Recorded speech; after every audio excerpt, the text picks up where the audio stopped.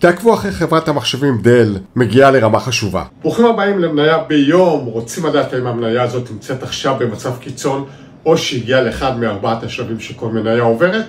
בואו נצלול לניתוח הטכני. אנחנו ביום רביעי, השביעי לאוגוסט 2024, מסתכלים על חברת המחשבים דל טכנולוגיות לאחר הירידות החדות שהיא עברה בשבוע האחרון. אני מתקרב לחלק האחרון, ואני מסמן כאן את הרמה החשובה של דל, הרמה התחתונה של פער המחירים. אנחנו מדברים כאן על האזור סביב 95 דולר, אפשר לראות שביום שני היא פתחה מתחת לרמה הזאת, אבל בסיום המסחר היא סוגרת מעל, ואתמול היא סוגרת ממש על הרמה הזאת כרמת תמיכה. תמיכה. שימו לב שדל כרגע נמצאת בקיצון, זה עדיין לא קיצון אקסטרים. כדי שנוכל לומר שבדל קורה משהו חיובי, אנחנו צריכים לראות שני דברים. הדבר הראשון, דל נתמכת על הרמה התחתונה של פער המחירים, והדבר השני, דל צריכה לעלות ולסגור מעל הרמה התחתונה של פער המחירים שנוצר ביום שישי האחרון. אני מדבר כאן על סביב רמת 104 דולר. אם אני אקח את זה אחורנית, תוכלו לראות שהרמה הזאת הייתה אמורה להיות רמת תמיכה, שנשברה כאמור ביום שישי. בואו נראה מה קורה מתחת לפני השטח. אז אפשר לראות שסך הכל מד זרימת הכסף תואם לגרף המחירים, ואינדיקטור הפאוור